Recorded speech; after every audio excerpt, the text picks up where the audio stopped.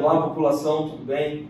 Hoje venho a público, na presença das interventoras da Santa Casa, secretária da Saúde e do Fabiano, representando a Câmara Municipal, falar sobre o momento que estamos vivendo com relação ao Covid-19.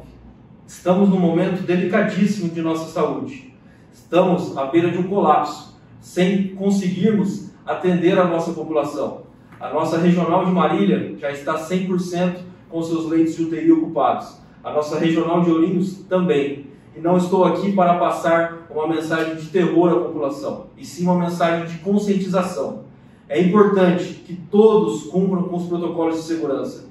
Usem máscara, façam uso do álcool em gel e, principalmente, não façam aglomerações.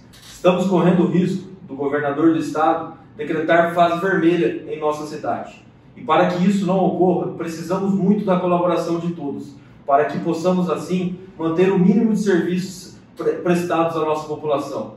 Conto com a colaboração de todos vocês que estão nos assistindo e que passem esse vídeo para frente, para que juntos a gente possa sair desse momento delicado em que estamos vivendo.